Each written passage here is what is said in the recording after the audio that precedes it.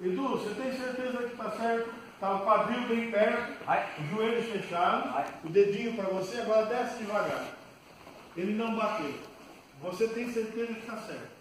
Muito bem. Volta, pega um cotega-eixo nele, uma chave de punho. Está certinho, Edu? Tá. Ele não bateu. Principalmente os iniciantes, presta atenção numa coisa. Existem pessoas, principalmente mulheres, mas é normal que homem tem hiperextensão articular. Repitam. Hiperextensão articular. Às vezes o cara não está sentindo e o tonto, em vez de tá tudo certinho, ele não bateu largar, já! Pum! Quebrou.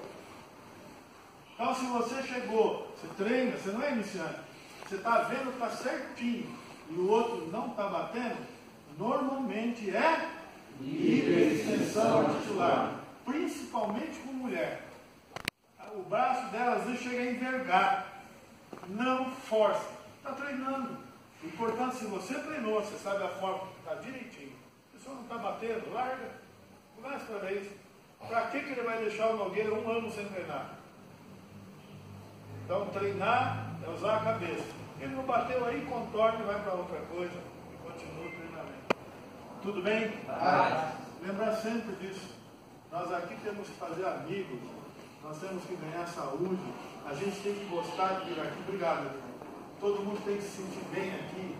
E não, agora cadê o, o Wagner? Wagner, você é socorrista, leva ele para o hospital. Por quê? Porque o cara quer dar uma de não, tem que bater, tem que bater, tem que bater. Não é assim. Estrangulamento é um pouco diferente. O cara resistiu, você força um pouco. Se ele já treina marrom preto, você vai, ou ele bate ou ele apaga. Tudo bem? Com a chave não.